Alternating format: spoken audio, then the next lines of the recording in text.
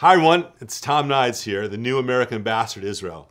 I just arrived a few hours ago, and I'm so honored that President Biden selected me to serve in this beautiful country. My first trip here was when I was 15 years old, as a little Jewish kid from Duluth, Minnesota. It was a dream come true.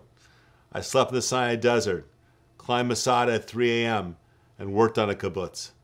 Trust me, it wasn't as easy as everyone told me it was going to be.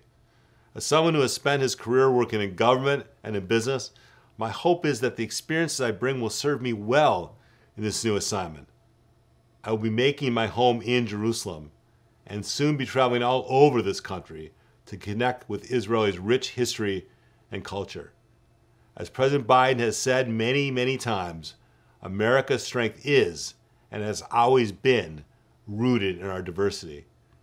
I aspire to represent the full diversity of Americas, whose backgrounds and beliefs may differ but are united in the core U.S. values of freedom, democracy, and opportunity.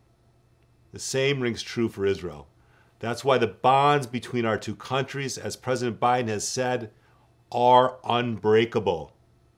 There's no greater privilege than what I have been asked to do to represent the United States of America to the state of Israel. I look forward to traveling all over this beautiful country and meeting many, many of you in the weeks and months ahead. Toda Robah.